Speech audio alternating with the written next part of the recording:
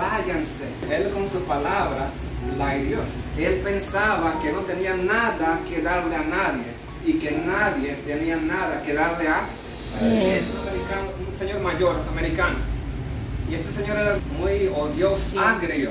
Se, se quejaba, se molestaba, hacía así. Un día él trata de quitarse la vida y de repente escucha como que llegaron unos vecinos nuevos, unos latinos, y él escuchando latinos, ¡ay, ay, ay! y sabe a ver qué está pasando. El, el esposo latino está tratando de parquear su carro en el hielo, en la nieve, pero no puede. Y trata y trata. El señor sabe, ¿qué pasa? No, que mi esposo no sabe. Dice, quítate, quítate. Y él mismo se mete, quítate, aquí yo voy a hacer. Y parquea el carro así fácil, lo más bien.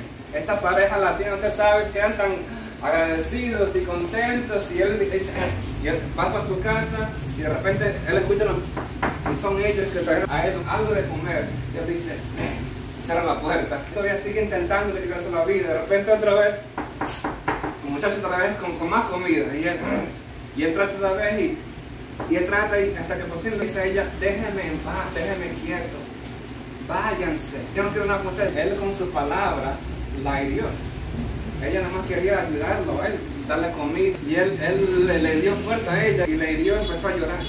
¿Por qué tú me estás haciendo esto a mí? Se sintió culpable. Él vio que ella, él la había herido. Él se, se, se, da cuenta y le dice, perdón, déjame explicarte. Cuando yo era muy joven, yo conocí el amor de mi vida. Y nos casamos y estábamos tan contentos. Esposa quedó embarazada. Y nos íbamos de viaje, entramos a un bus y ese bus nos estaba llevando a un lugar, pero de repente ese bus tuvo un accidente. Y mi, mi, esposa perdió el bebé. Mi esposa quedó paralizada. Mi esposa ya no pudo tener más hijos. Y mi esposa se acaba de morir hace cinco meses. Y mi trabajo me acaban, de echar. Me acaban de votar. Hace que yo no tengo nada. No tengo a nadie. Ella le dice, si usted tiene a alguien, usted tiene a alguien, usted me tiene a mí, mi familia, usted sí tiene a alguien. Dice la palabra de Dios en el libro de Gálatas, capítulo 6 y verso 2. Ayúdense unos a otros a llevar sus cargas. ¿Sus qué? Cargas. Esta carga pesa, esta estrés pesa, esta deuda pesa, este dolor pesa. Llevar sus cargas y así cumplirán la ley de Cristo. ¿La ley de quién? De Cristo.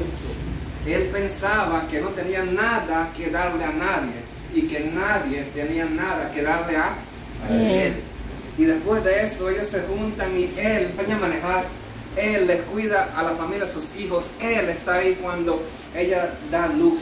Y, y los dos se juntan como una familia. Dios le dio a él lo que él anhelaba. Esa compañía, esa familia. Y ahora esta muchacha era como su hija y los hijos de ella como sus nietos. Y él está súper alegre que ya no intenta hacer más nada, sino vivir para él y para ellos.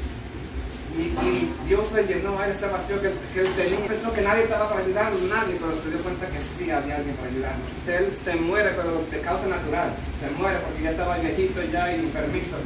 Y le escribe una carta a la familia esa, le dice, muchas gracias por todo lo que ustedes hicieron por mí.